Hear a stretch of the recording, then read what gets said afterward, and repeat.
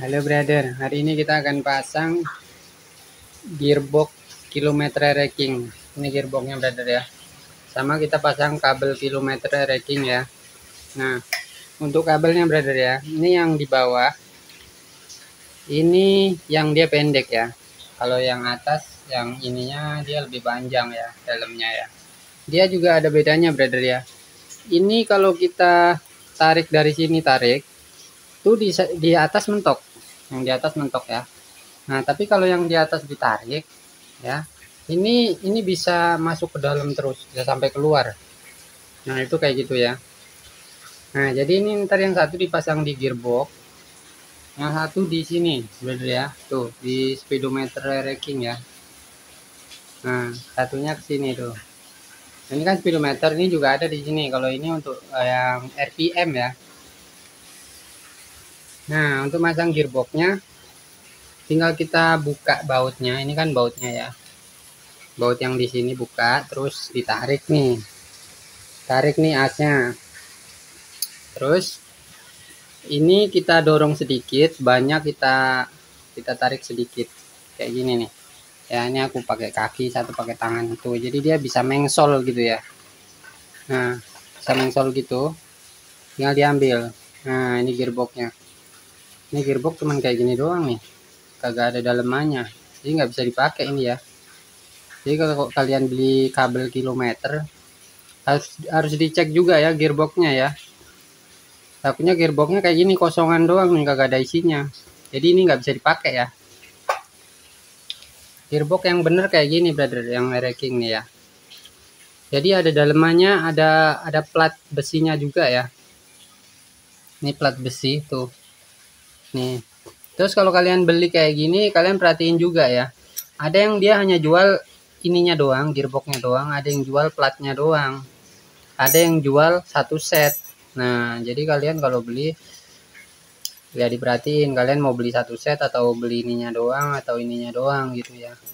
Kayak kemarin aku pengen beli satu set. Nggak ngeliatin gambarnya pas datang kayak gini doang. Akhirnya aku beli lagi ininya doang nih ringnya doang Nah, jadi ini pasangnya kayak gini brother. Ini kan di sini ada cowakan nih. Nah, ini yang ada iniannya, tonjolannya, ini dimasukin ke cowakannya. Nah, kayak gitu brother ya. Tuh, ini kalau diputer, itunya juga dia ikut muter. Tuh, ya kan, ikut muter. Jadi yang di sini juga muter juga. Nah, terus yang ini yang kanan kiri, dia masuknya itu di sini Bener tuh ya, dicowakan ini. Jadi kalau bannya muter, maka ini dia akan memutar ya, memutar dalaman ini. Kayak gitu ya. Nah, jadi ini kayak gini udah tinggal kita pasang aja nih, brother. Posisinya kayak gini, brother. Ini masangnya juga nggak boleh terbalik juga. Oke, brother ya. Nah, kalau dia di sono udah masuk tinggal kita pasang ini ke cowakannya ya. Nah, cowakannya di situ.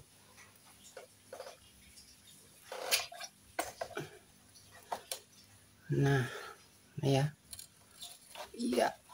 Nah, sip ya. Tuh ya, jadi dia masuk ke cowakan ya.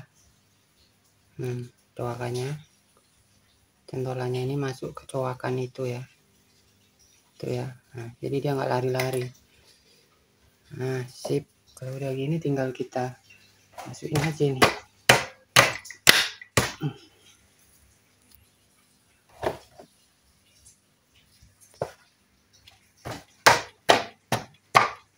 Nah oke okay, brother ya. Tinggal dikasih ring kasih baut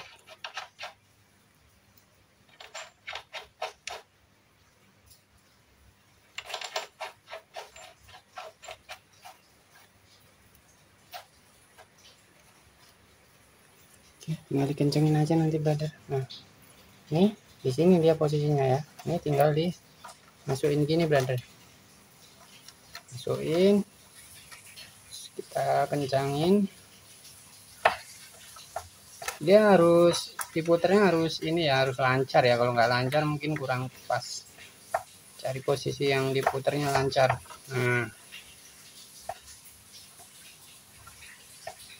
oke brother ya. Dia cuma sampai segini doang ya. Dia nggak nyampe mentok sono ya.